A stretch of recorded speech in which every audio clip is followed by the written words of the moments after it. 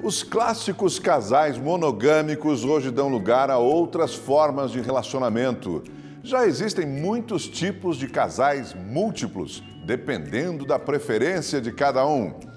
Você já ouviu falar no poliamor, amor livre, relacionamento aberto, relacionamento virtual? O padrão comum nas novas relações é não ter padrão. Você vai conhecer agora histórias de quem resolveu viver a vida explorando novas formas de amor. Quantas formas de amor existem? Enquanto uns escolhem ter um parceiro para a vida toda, há quem prefira experimentar o amor de uma forma mais livre. Você conseguiria? É aquela velha história, eu acho muito legal, mas acho que não.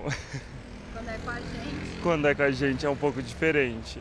Mas eu tenho, inclusive, conhecidos que têm relacionamento aberto. E você seria adepto ao relacionamento aberto? Não. Eu sou meio ciumento. Não conseguiria. Me conhecendo um pouquinho, não conseguiria. Acho que não duraria nem, não tentaria nem um dia numa relação dessa. Não consigo. Para mim não daria certo, mas tenho amigos que dá certo. Porque eu sou monogâmico. Eu acho que eu, eu concordo com a ideia de que as pessoas compartilham uma com a outra os mesmos corpos, assim. É, pelas ruas de São Paulo, muita gente ainda não toparia a ideia. No entanto, é cada vez mais comum encontrarmos casais que decidiram ir por esse caminho. Para manter um relacionamento aberto, a fidelidade afetiva é uma das principais características. O casal pode sair e até se relacionar sexualmente com outras pessoas, mas o afeto deve ser exclusivo um com o outro. Mas isso não é uma regra. Eu estou aqui com a Tiane, que há 14 anos é adepta ao relacionamento aberto, mas com você é um pouco diferente, né? Que as coisas funcionam. Por que você decidiu abrir as suas relações? Eu acho que aconteceu assim naturalmente, né? Na prática. É, aí surgiu a necessidade de abrir, né? Eu estava num, num relacionamento já há dois anos e aí eu me apaixonei por uma pessoa. E aí eu falei para o meu parceiro, né? Eu falei, olha, aconteceu isso.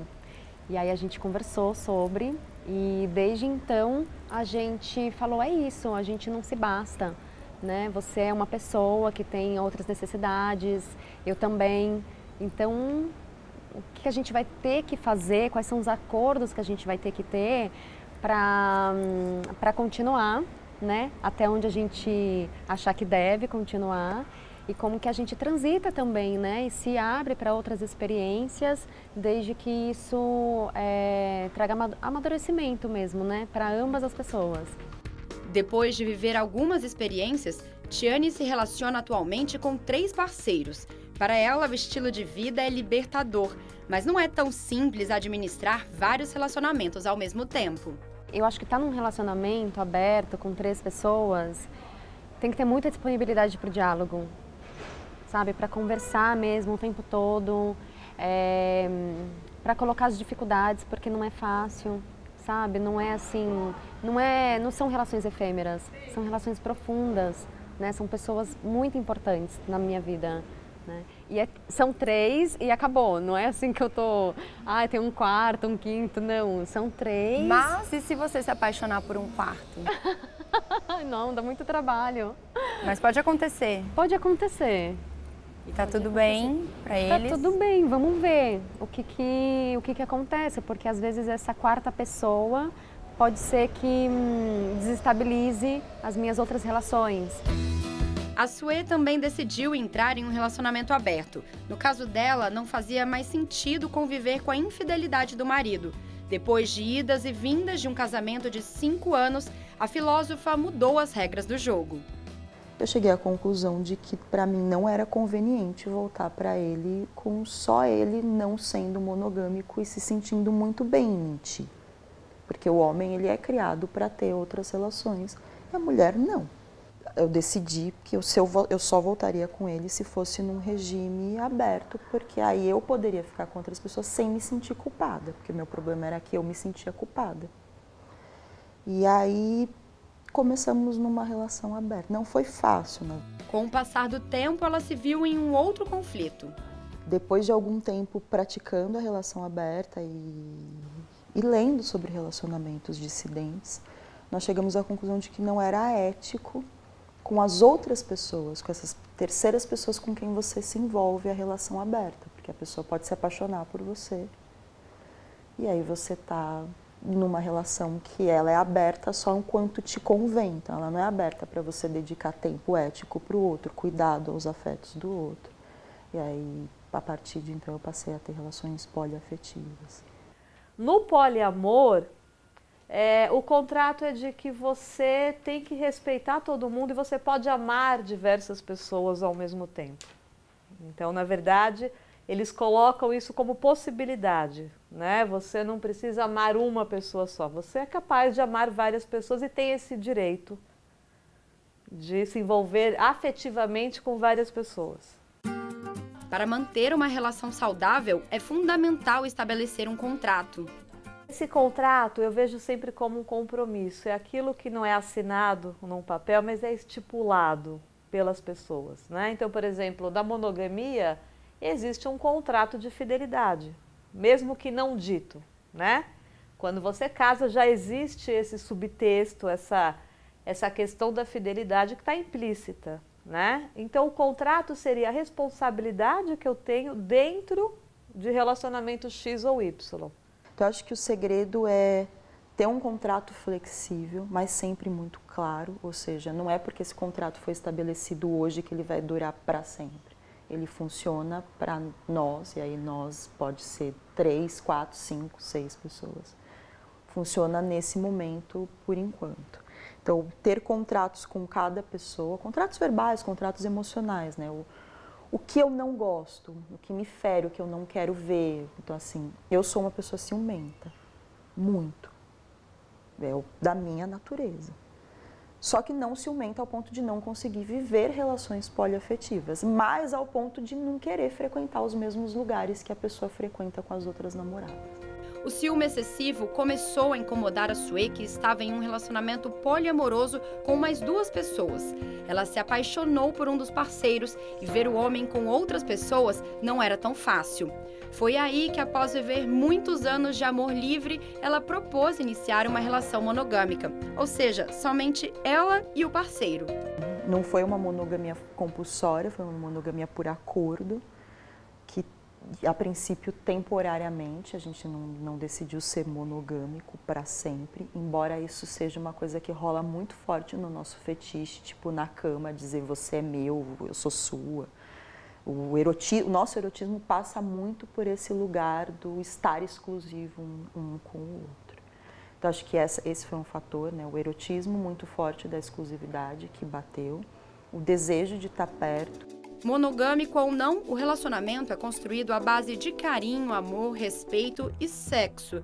Sim, a vida sexual é importante para a maioria dos casais, porém tem gente que não pensa assim são os assexuais, pessoas que não sentem atração sexual parcial, total, condicional ou circunstancial por outra pessoa.